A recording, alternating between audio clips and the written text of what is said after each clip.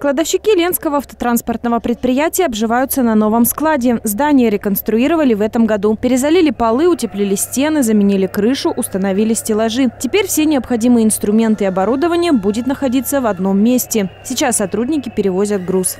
Стеллажи на новом складе заслуживают отдельного внимания. Они могут выдержать 750 тонн, вес двух самосвалов БелАЗ. А высота конструкции хранения 7,5 метров. В Алмаздуртрансе, как и в других подразделениях Алроса, вводит систему адресного хранения. Для этого на полках разместят палеты, деревянные ящики, в которых удобно искать подписанный инструмент. Новое помещение позволило нам объединить разрозненные места хранения запасных частей и материалов.